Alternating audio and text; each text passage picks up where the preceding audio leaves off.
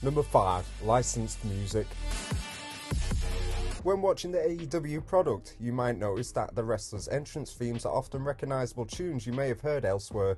This is because AEW owner Tony Khan has tried to make his wrestlers stand out with licensed entrance theme music from the likes of Jungle Boy's Tarzan Boy, Hook's Chairman's Intent, and Jon Moxley's Wild Thing. This is something ECW often used to do, such as the Sandman's iconic entrance to Enter Sandman by Metallica. At times, ECW would also allow the themes to continue to play as the action unfolded as well, which AEW seemed to have adopted when showcasing its Anarchy in the Arena type matchups. The recognisable licensed entrance songs help create a memorable party atmosphere that you wouldn't necessarily expect at a wrestling show, but it allows the audience to sing along and have the wrestlers connect with the lyrics of the song to help portray them as an even bigger star. In a sit down interview, Tony Khan commented on why he uses so much licensed music within AEW, confirming that he paid for all of the licensed music in perpetuity, meaning that he can showcase them forever. This is something he believes will be an exciting addition to AEW's eventual streaming library. Number 4 Daily's Place Reliance. As AEW has started to grow even more over the years, the product has moved around to numerous locations, including England and Canada. However, AEW often found a home in Daily's Place in Jacksonville, Florida. This was especially true during the pandemic era, as AEW produced all of its shows from Daily's Place on a weekly basis. But even before then, the company had begun to establish the arena as its home.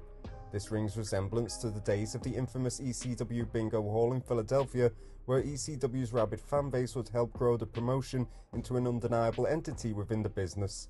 Today, this helps create a dedicated fanbase for AEW and helps form a special connection that very few wrestling promotions have managed to do with special venues. Number 3. Bringing up hungry young talent. ECW was often seen as the land of opportunity, a place where wrestlers could go to make themselves known or reinvent themselves.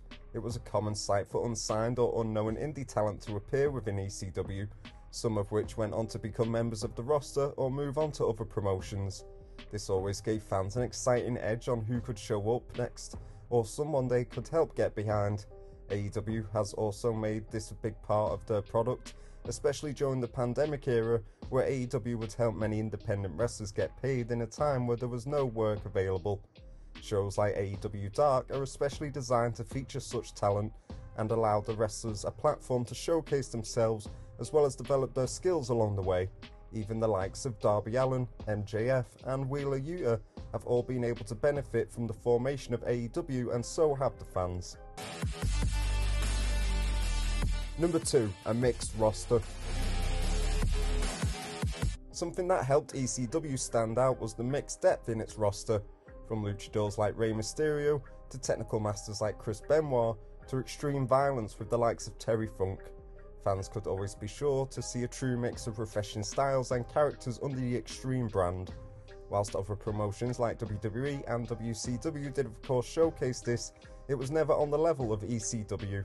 This is something Tony Khan has also adopted for AEW, not only with international stars from the likes of Japan, which ECW would often do, but AEW has the likes of high flying luchadors in Rey Fenix, to brawling beasts like Brody King, bloody battles from Jon Moxley, or technical wizardry from the likes of Daniel Bryan. The AEW roster is super deep with a variety of talent and guarantees fans a fresh and dynamic show each and every week. Number 1 Violence.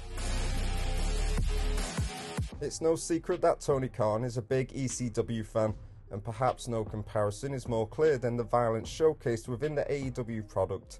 Whilst the WWE tried to move away from this type of bloody violence throughout its move to a PG product, AEW saw this as a perfect opportunity to showcase plenty of bloody battles to help stand out as an alternative to the WWE. In AEW's early days, the product didn't rely on blood and violence too much, but over time this has become a much more common sight, with AEW bringing the likes of exploding barbed wire death matches, blood and gut type matches, and even deathmatch legend Nick Gage all to the mainstream. Nowadays, AEW seems to often rely on hardcore matches to draw attention to certain shows or events it wants more of a spotlight on, such as Sting's last match or a number of women's matches on Rampage. Either way, AEW has certainly tapped into one of ECW's core aspects to help stand out within today's modern landscape. Thanks for watching. Don't forget to subscribe for more wrestling content.